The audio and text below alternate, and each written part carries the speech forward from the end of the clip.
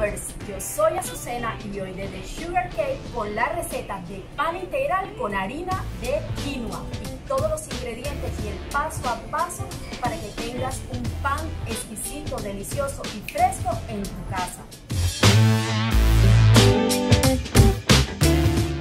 Harina integral 250 gramos, harina de quinoa 100 gramos, 40 gramos de dolcerra o lo puedes sustituir por miel o por panela orgánica. 40 gramos de aceite de oliva o lo puedes sustituir por aceite de girasol.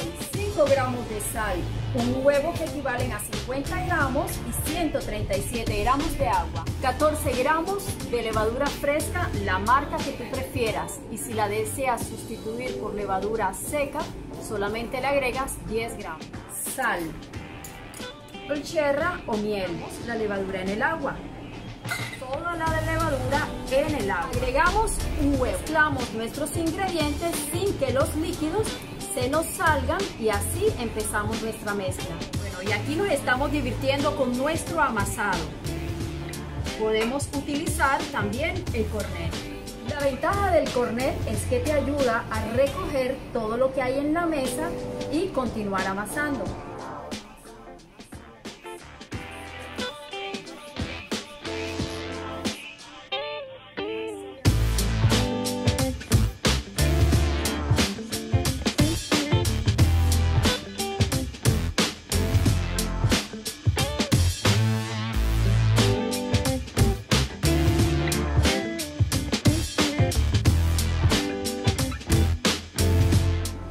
Así quedó nuestra masa.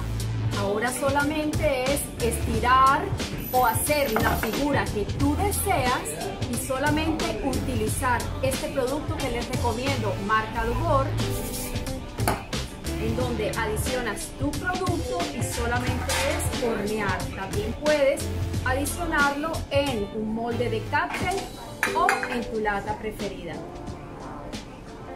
Y una vez hemos conseguido esto, es necesario llevarlo a leudar. Vas a tapar esto con una bolsa plástica durante 30 minutos para que la levadura se active y una vez que se active, ahí sí lo vas a llevar a tu horno. Amigos, vengan a ver y estos son nuestros panes integrales de quinoa. Mira esta delicia para tu paladar.